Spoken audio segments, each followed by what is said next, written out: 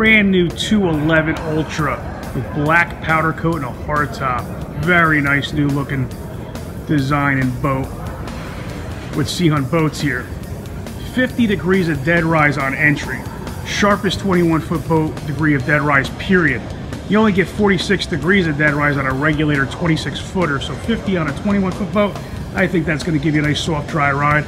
Huge Carolina flare and big reverse chine all the way through here. Hybrid modified with uh, 50 degrees in the front, 20 in the middle, and 16 degrees in the back with a Vortec hull design. That will play in this boat and get it off with a 150 at 48 miles per hour. Black powder coat is an option. You can do any kind of powder coat, white obviously, and a few other colors. 154 stroke Yamaha engine, stainless steel prop. Got a ladder off the back here. Leaning post with rocket launchers. Uh, the hard tops are vapor mister, hard tops, LED lights, uh, stereo speakers. rocket launchers all the way around. The infamous bench-to-bench -bench Ultra seat that the whole industry is copying now. But we were the first with this design. Cup holders for mom on both sides. Dual battery switches. We have friction hinges, one of the first companies to do it, where it holds up, no springs attached. The uh, hatch will hold anywhere you want it. The middle has your live well.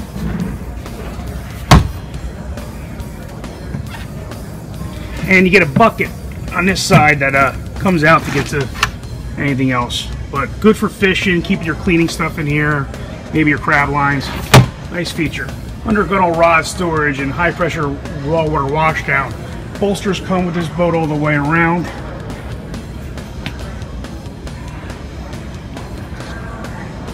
This year, the new console is uh, very big, and they've moved everything off of it to give you more room for large 12-inch electronics. Comes with uh, Infinity Bluetooth stereo, AM, FM, MP3 input, and they move the gauges down so you have all of this real estate for your electronics. Very nice. Uh, the leaning post is one of the best out there. Really like how it comes up high with the flip up bolster and hugs your back. Holds you in there nice with a little bit of a curve. We like to do tilt steering wheel. They got rid of the teak wood this year, which is a nice, with a piece of starboard down there. Your Vapor Mister hardtop here has misters here, these spots, LED lights, rocket launchers. Electronics box has friction hinges as well, opens up for you nicely. Along the front here, the bow backrests are beautiful feature. Uh, we order them on every boat. Really utilizes the front. You know, a couple people can sit there while underway with recessed bow rail to hold onto. Uh, bow cushion all the way around. Anchor locker up in the front. These uh, fish boxes all lift up in the front. They're huge. And they have pistons, which most larger, more expensive boats don't even have.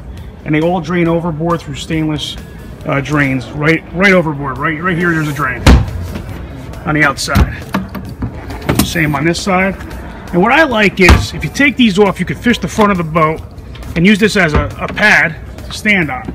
But also what I like is, you can sit two people on either side and one in the middle and actually fit three people here comfortably to hang out or whatever. And even underway, it works, which a lot of boats don't. Nice high fiberglass molded in seat with enough room for two kids if you had to. And a lot of the boats are really low here, very tiny seat, not very useful. Little cooler box right here. And your head is really large on a 211 Ultra. One of the first boats to do this on a 21 foot boat. Look at that. Very deep. Fit yourself a porta potty in there. Some stowage for your tackle. It's a great boat. Awesome. One of the best boats for the money, hands down. The number one selling boat in the industry, Sea Hunt Boats with the number one selling 21 foot boat in the industry. Give us a call for options and uh, pricing at 732-505-3002 or log on to njoutboards.com. Thank you.